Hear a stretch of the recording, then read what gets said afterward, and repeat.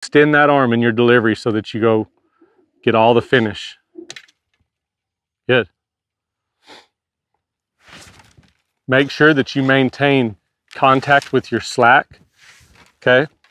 This is another habit that I see a lot, especially on especially on sawhorses and roping dummies, is people will get here and they'll rope and they'll just drop their arm down like this. And you're not quite doing that, but you don't have contact with your slack.